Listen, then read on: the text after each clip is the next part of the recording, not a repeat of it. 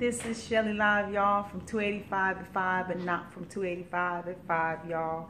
I've been a little under the weather. Sorry for not posting up. I've been kind of sick, trying to get through my own grind. And then I'm sitting in my doctor's appointment today, and I get this text that came through saying that Prince had died. For about a good 10 minutes, I think I just sat there in awe and then I was just like, this got to be like a joke. That was the next thing came to my mind. And then the texts came pouring in like faster. And I was like, this is for real. So I went to Google and I Googled, you know, Prince, is he really dead? And then I saw TMZ. And I was tripping. Because you would have thought that this was like somebody in my family that had died. But that's what Prince was. He was like family. He was like that guy that you would sing when you had problems, when you would watch Purple Rain and cry about how he ran after Apollonia, how just his music and his being just touched so many people's households and living rooms and nationalities and colors and all kinds of stuff that you learned and loved about this little guy that was just beautiful.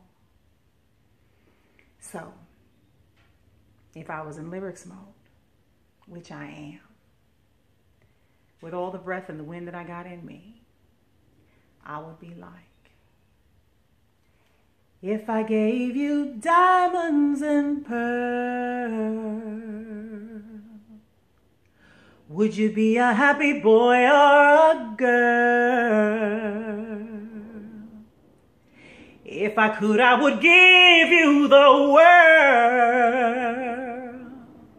Cause all I can do is just offer you my love. D to the I to the A to the M.